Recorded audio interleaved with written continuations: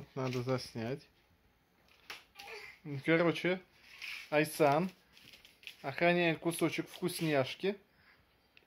Положил его на центр кровати. Коба на него претендует. Поэтому как так? Еда лежит без дела, а она охраняет. Она сама не ест. Да. Демонстративно лежит чуть-чуть в стороне и никого не подпускает. Вот такой вот характер у леди Айсан. На черный день оставила. На черный день, да. Ее Всё. столько кормят. Она же не ест.